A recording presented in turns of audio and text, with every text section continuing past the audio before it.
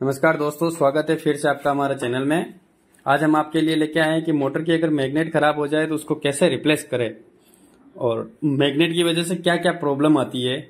Magnet की वजह से मोटर झटके लेके चलना, खटखट की आवाज़ करना, या फिर इस लोड पे नहीं चलना और फ्री में चलना, ये सारी प्रॉब्लम जो है हमारी मैग्नेट की वजह से भी आती है।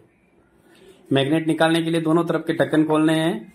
फिर अपने को आहिस्ता आहिस्ता चोट लगा के धीरे धीरे धीरे धीरे मैग्नेट को नीचे सरकाना है, क्योंकि ज़ोर से चोट मारने पे मैग्नेट हमारी टूट जाएगी। तो बिल्कुल स्लोली स्लोली मारना है और नीचे सरकने के बाद अपने को हाथ से खींच खींच के निकाल लेना है तो अपनी मैग्नेट आराम से निकल जाएगी।